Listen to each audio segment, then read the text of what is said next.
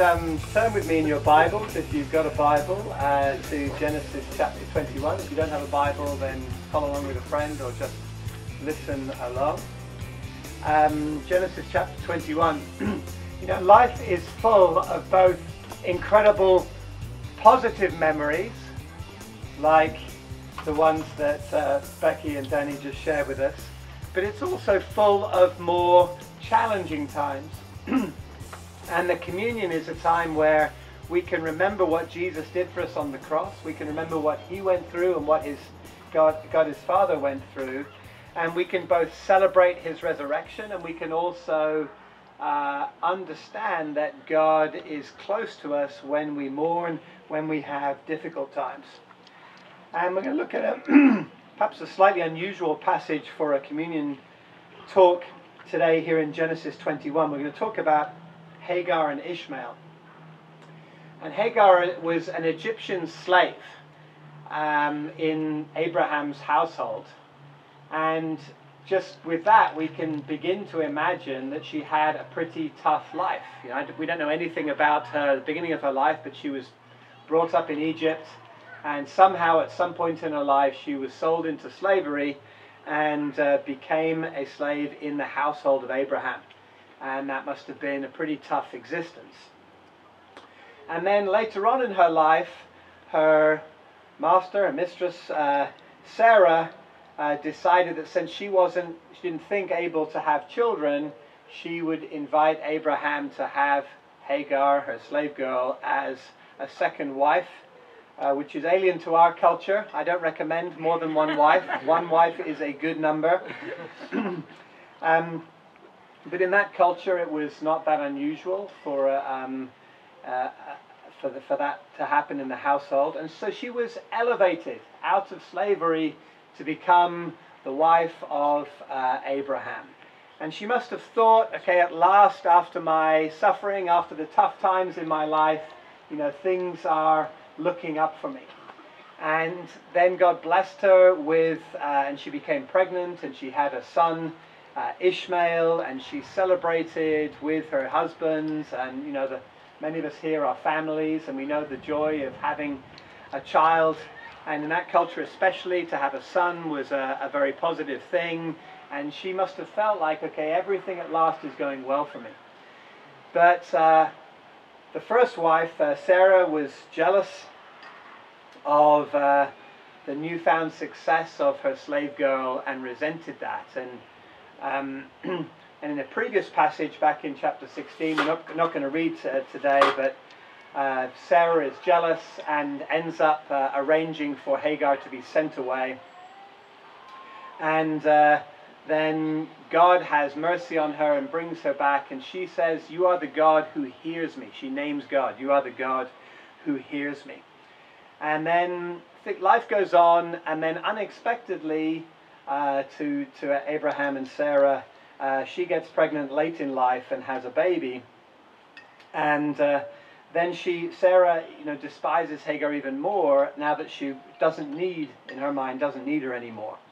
And uh, so when, when uh, the new son Isaac is weaned, um, Sarah tells Abraham that she should again send Hagar away with her son. And Abraham, distressed though he is, because this concerns his son, in chapter 21, verse 14, says, Early in the morning, Abraham took some food and a skin of water, gave them to Hagar. He set them on her shoulders and then sent her off with the boy. She went on her way and wandered in the desert of Beersheba. When the water in the skin was gone, she put the boy under one of the bushes. Then she went off and sat down nearby, about a bow shot away, for she thought, I cannot watch the boy die and as she sat there nearby, she began to sob. God heard the boy crying, and the angel of God called to Hagar from heaven and said to her, What's the matter, Hagar? Don't be afraid. God has heard the boy crying as he lies there. Lift the boy up and take him by the hand, for I will make him into a great nation. Then God opened her eyes, and she saw a well of water. So she went and filled the skin with water and gave the boy a drink. God was with the boy as he grew up. Grew up. He lived in the desert and became an archer. We'll stop there. Know, so Hagar got to a point of complete desperation in her life. She's wandering in the deserts, and as you can imagine in the desert, if you don't have water, then life is not possible. And she reaches a point where she thinks, okay, we're going to die. I can't bear to watch my son die. And so she leaves him under a bush and retires to a short distance. Know, perhaps you've had a point in your life when you felt that desperate and when you wondered whether there's anyone who understands your desperation. Maybe it's a relationship problem, maybe it's a financial problem, maybe it's a family problem. You know, we all have points in our lives where we feel desperate and we wonder, is there anybody who understands my pain? And the loss of a child is a particularly powerful uh, pain that Hagar is feeling at this point. And even though she had previously said, God is the God who hears me, right now, at this moment, she feels separated from God. She feels like no one's hearing him.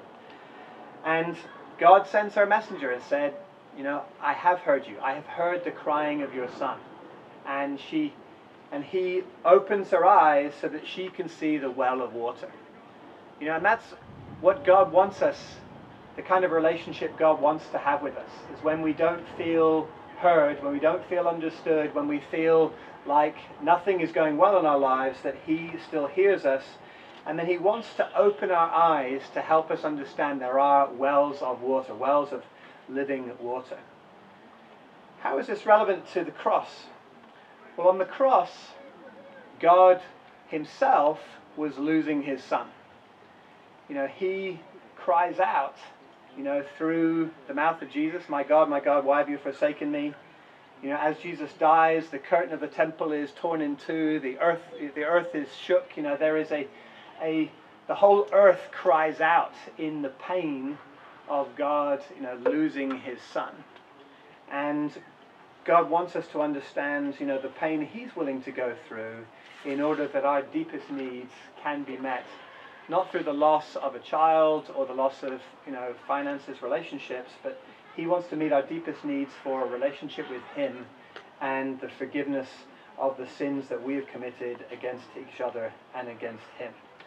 And the communion is a time where we can take bread that reminds us of Jesus' body broken on the cross. We can take fruit of the vine that reminds us of the blood poured out for us. And we can remember that God is the God who hears us. He hears us in our great celebrations and He hears us in our times of greatest distress when we feel like nobody else has heard us. And this is opportunity for us as uh, a Christian body, as the Watford and Northwest London family of churches together to remember Jesus and the fact that He is the Son of the God who hears us. Let's pray together. Dear Father God, thank you so much for being the God who hears us. Thank you, Lord, that we can celebrate with you. Thank you, God, that we can mourn with you. Thank you, God, that even in the mundane aspects of our life, you are hear us, you hear, you are with us, and you hear us, and you want to uh, be close to us, to bind up the brokenhearted, to rejoice with us in our times of rejoicing. And we thank you, God, that you can open our eyes, Father, Lord, when we're focused on ourselves, God, and then you can help us to find refreshment and a communion with you. Thank you that we can have communion with one another right now we can take this bread, this fruit of the vine, and connect with each other and with you through what your Son did for us on the cross. Amen. Amen.